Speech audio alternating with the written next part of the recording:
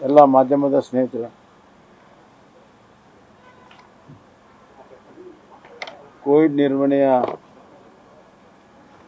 Expert committee ಜೊತೆಗೆ ನಮ್ಮ ಸಚಿವರಾದಂಥ doctor Sudhakar ಅವರು, ಡಾಕ್ಟರ್ ಅಶೋಕ್ ನಾರಾಯಣ್ ಮತ್ತು ಎಲ್ಲ ಚೀಫ್ ಸೆಕ್ರೆಟರಿ, ಎಲ್ಲ ಹಿರಿಯ ಅಧಿಕಾರಿಗಳೊಟ್ಟಿಗೆ ಸುದೀರ್ಘವಾದಂಥ ಚರ್ಚೆ ಆಗಿದೆ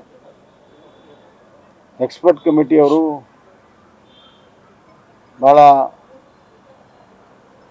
ವೈಜ್ಞಾನಿಕವಾದಂಥ ಮತ್ತು ಅಂಕಿಅಂಶಗಳ ಸಮೇತವಾಗಿ ಮತ್ತು ಅಂತಾರಾಷ್ಟ್ರೀಯ ರಾಷ್ಟ್ರೀಯ ಒಂದು ಟ್ರೆಂಡ್ ಬಗ್ಗೆ ಅದಲ್ಲದೆ ಪಕ್ಕದ ರಾಜ್ಯ ಕೇರಳ ಮತ್ತು ಮಹಾರಾಷ್ಟ್ರದಲ್ಲಿ ಕೋವಿಡಿನ ಸ್ಥಿತಿಗತಿಗಳ ಬಗ್ಗೆ ವಿವರವಾಗಿ ತಿಳಿಸಿದ್ದಾರೆ. ಅವರ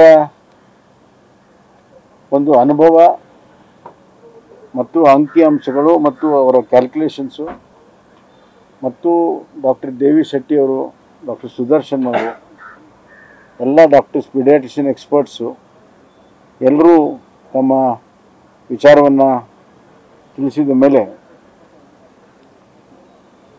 ನಮ್ಮ ಮುಂದಿರುವಂಥದ್ದು ಕೋವಿಡನ್ನು ಯಾವ ರೀತಿ ನಿರ್ವಹಣೆ ಮಾಡಬೇಕು? ಇವತ್ತು ಕೋವಿಡ್ ಎರಡನೇ ಅಲೆ ಅಂತಿಮ ಹಂತದಲ್ಲಿ ಇನ್ನೂ ಪೂರ್ಣ ಹೋಗಿಲ್ಲ. ಒಂದು ಅಬ್ಸರ್ವೇಷನ್ ಬಂತು.